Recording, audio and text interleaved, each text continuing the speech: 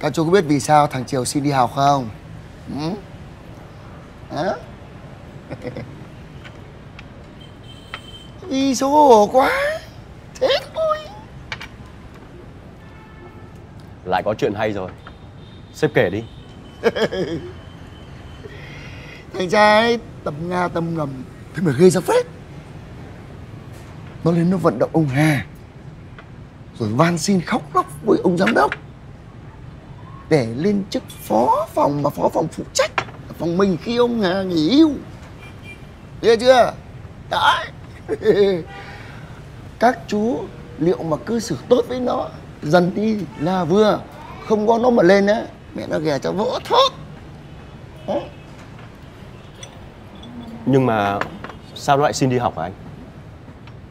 Sợ xấu hổ thôi. Xin ý kiến đầu ủy ban giám đốc. Không ông nào đồng ý cả Thế là phải xin đi học Để lướt khuôn mặt vắng Đỡ xấu hổ. Chắc lại vụ 2.000 bánh. Ông ấy cứ tưởng là mình là thánh Nên có vẻ tự tin lắm. Vụ đấy là chó táp phải ruồi Chứ tải cán gì cái thằng đấy. Ừ. Hôm bữa thấy cầu thang Mặt vác lên trời Sợ thật.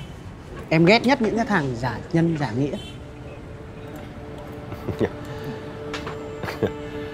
Anh Thắng, Có khi sắp tới Anh phải xoa tay Để con lên báo cáo xếp chiều nhỉ? Lưỡi chú mày như lưỡi rắn ấy nhỉ?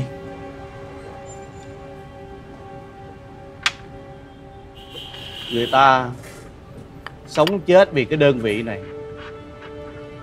Vậy mà mấy chú ngồi đây, Thịt tống đầy mồm. Vậy mà còn đâm bị thóc Thóc bị gạo. Bỏ cái thói ấy đi nha. Vừa rồi có kẻ Rắp tâm thuê sát thủ giết hại thằng Chiều Cũng may là tụi nó không ra tay. Chứ tụi này á, Đón hết rồi. Chứ không thôi á, Là no đủ với cánh này rồi.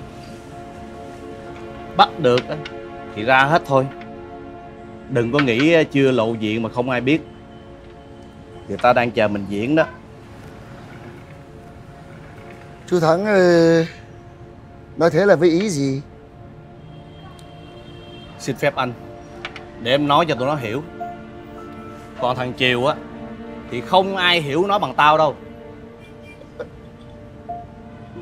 Đề cử nó lên chức trưởng phòng á Là ý của tôi đó. Tôi nói với sếp Hà Sếp Hà thấy hợp lý Nên báo cáo với ban giám đốc. Mà nếu nó có lên chức chỉ huy Tôi thấy cũng hợp lý thôi mà.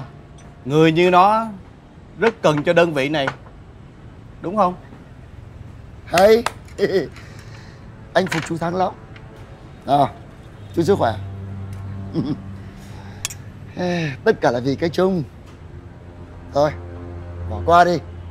À, Đồng khởi.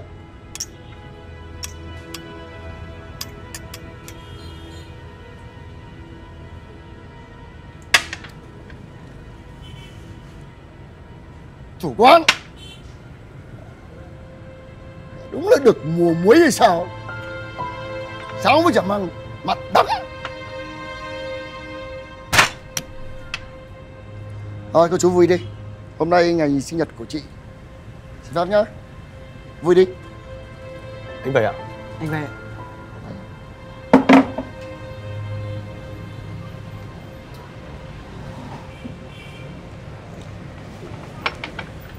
Chuyện đó có thật không anh? Mày hỏi chuyện gì? Chuyện thuê người sát hại anh Triều ấy. Bọn nó đi hai thằng Rình rập thằng Triều ở ờ, trước công an tỉnh. Tiếc là tụi nó không ra tay. Chắc là có kẻ ờ, phát hiện ra được tụi này Nên phím cho nó biết Để tụi nó dừng lại. Nói thật chứ Nghề của tụi mình á Bào sinh ra tử. Đã là đồng đội á, Thì phải biết yêu thương Bảo vệ nhau. Chứ cái kiểu mà Đâm sau lưng người khác á Rồi cũng có lúc Tới lượt mình thôi. Thôi anh em uống nào. Mà anh. Anh. Ở đây á toàn là những thằng khôn hết biết hết mà không nói thôi. Vải thưa làm sao che được mắt thánh?